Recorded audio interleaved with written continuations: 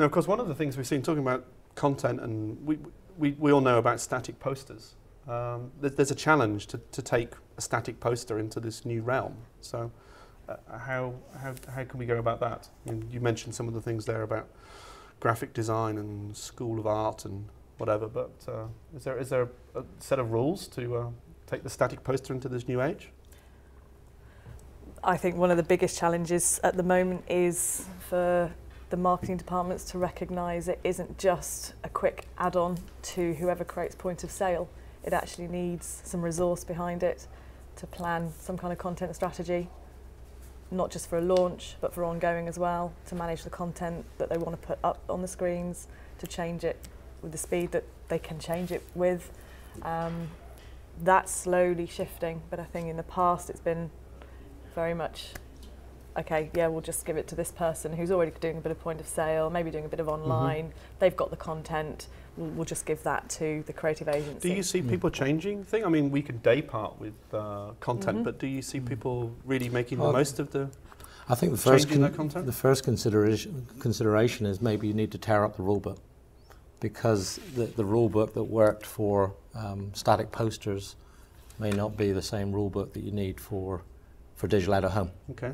Um, so, uh, you know, and, and w- whenever you have change, whatever business you're in, um, sometimes it's tough because you've got to have some lateral thinking. You've got to change some of your your existing work practices. So, um, I think what we're we're seeing is still um, a situation where if, if we just replace a poster with a digital image, we're, we're certainly not making the most out of the, the medium possibility. And at the end of the day, it's, it's not about the technology, it's about the content, absolutely. And it's about the, the, the consumer, whoever is in, in, you know, in front of that content, um, and depending on whether you want any interactivity. So, you know, the, co- the concept of, of having to book campaigns by in, in two week intervals, you know, because, you know, that's when you're going to change the posters, you're going to do a Yeah. revamp, you know, has gone away. But I don't think everybody's grasped that yet. So, you know, the first thing is we need to think about what are the new rules of the game? What are the opportunities that are there? And then there is going to be quite a, um, you know, there is going to be a process of change and there is going to be a process of education to allow us to fully embrace and, and, and get a good return on the opportunity that digital at home gives us. So think about you know what the new rules of the game are, and obviously the dynamic advertising, whether it's interactivity or or whether it's day parting, are, are certainly the first you know very tangible um, things that you can look at. Right. Okay. I think the um, one of the challenges of moving from static to dynamic s- signs is just the tools. I mean, posters for 150 years have been a 3 by 2 aspect ratio. With digital, it's 16 by 9 or 16, 16 by 10 portrait or landscape. But those are pretty boring. And how do you, what, what tools are available to design signs of arbitrary shape, of different shapes, zigzags, ag, uh, angles, um, whatever? what are the tools available to uh, create uh, signs that are maybe even going to change not just the, the uh, visual content, but the shape? Uh, we're finding in our company um, a large uh, interest for digital out of home signs for events where uh, the shape may only be there for two days, change and, and move around. Um, I think the industry needs not just designers, but tools. Uh, we need people to rethink how they create content in, in completely different ways. So that you're right, the rule book is has ha- has had to have been thrown out because of 16 by 9, 3 by 2 just don't um, aren't, aren't interesting anymore. Okay. So you've hmm. both. It's interesting that you've both said that people need to tear up the rule book in terms of moving forward. Hmm. One of the things that Mood have been doing for a long time is music. Uh, we'll, we'll mm-hmm. talk about audio and things, but it's more experiential, and you've been playing with smells and scents Yeah. in stores and I think very much about it's creating this, you know, unique shopping environment, making sure that it all dovetails, meets the brand, gets the messages out there to, to the retailers. Um, audio is very important. Um, we've commissioned um, with YouGov just recently a piece of research, um, went out to just over 2,000 people, and um, results came back that two thirds said yes, they would actually stay in a store for longer if their atmosphere was right.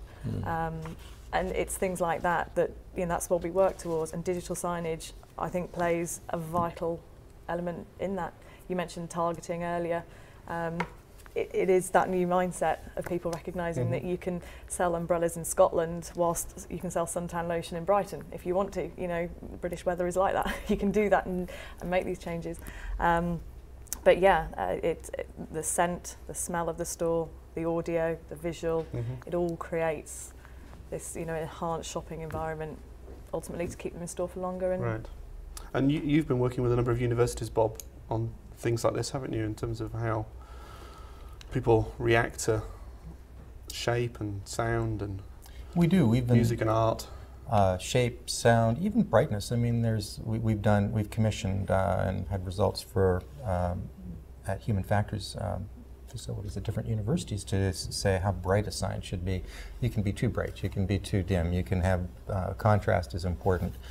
Um, shape, sound, and so forth. In fact, we're seeing um, a, a lot of take up of panel displays uh, for live arts as well, not tradition, not digital of home, out of home as you and I would uh, think of it, but performing arts as well. So, and of course, you can always get subtle messages across uh, Yeah. in the background. Because there, performing so- arts is very much like some of the retail theatre that you put together. Yeah. But, uh, but Yeah. we, we've seen good examples of retail theatre, I think, Ian, across across Europe really these days. Well, I think, um, I, I mean, I completely agree about the experience. How, how are you going to get people off, off, uh, off their computer, off the internet, shopping online, and want to come in to experience, you know, the store? Mm-hmm. Um, so you know there is a theatre about it, isn't there? Um, and uh, but I think that the, the, one of the parts of it is, is impact.